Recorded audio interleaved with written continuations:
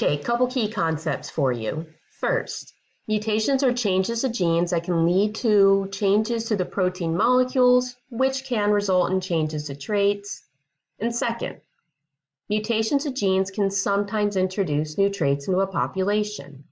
And I'm going to back up and explain just a bit here because, in my experience, this is one of the most misunderstood parts of natural selection.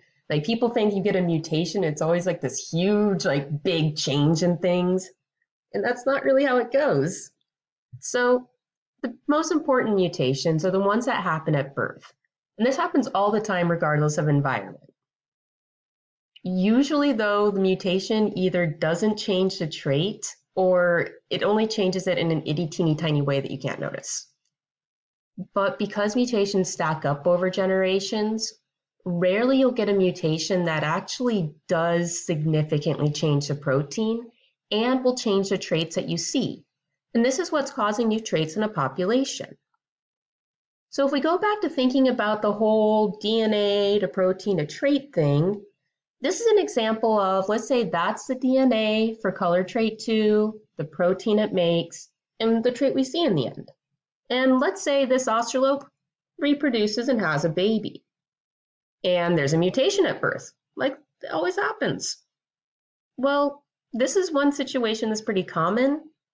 You had a mutation, but the protein literally didn't change, and neither did the trait. Yeah, a little not dramatic, but it's common.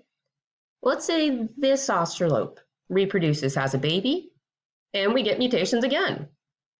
Well, another common situation is the protein did change, but in such a small way that the trait either didn't change or the change is so tiny you can't even notice it.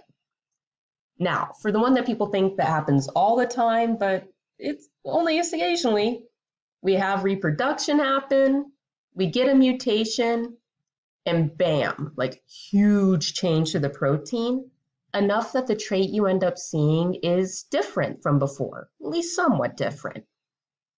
So this is a situation where the mutation is giving a new trait.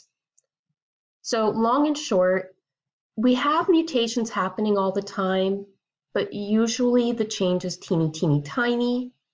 But because mutations can stack up, many generations later, you can get a mutated protein and a mutated trait. But if you notice, and I did this intentionally, that mutated trait is only a little bit different from what the parent had usually. So just bearing repeating, key concept. Mutations are changes to genes that can change the protein molecules that can result in the change to trait.